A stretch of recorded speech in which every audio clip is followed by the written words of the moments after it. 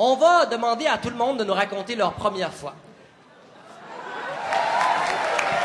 Maintenant, euh, je vais demander à chacun des candidats de, de me dire sa première fois avec Pauline, de me raconter ça. Alors, Madame Rosette Côté. Je connais Mme Marois depuis les années 80 et je lui ai dit oui trois fois. La première fois, lorsque nous siégions à la commission Campo, on prenait des petits avions, on allait dans les régions. Et là, on s'occupait de contenu, mais là, on parlait recettes, on parlait enfants, on parlait cuisine, on parlait quotidien de la vie. Je lui ai dit oui.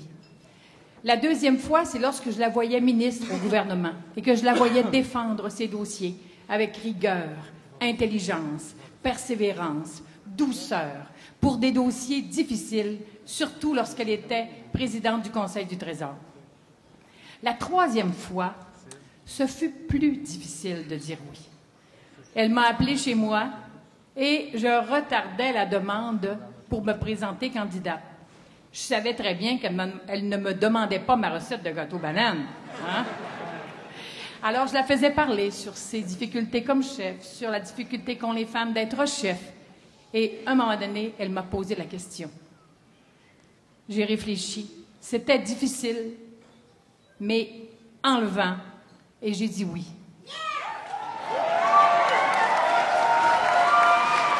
J'ai dit oui. J'ai dit oui parce que je l'admire.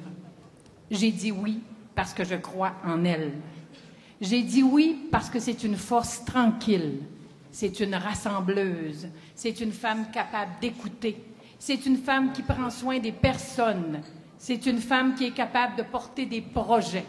J'ai dit oui parce qu'elle est une femme de projet, de conviction, de cœur et de raison.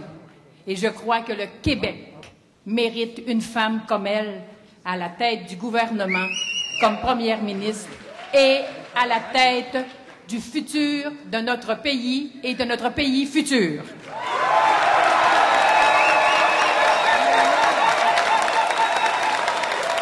Merci, Madame Côté.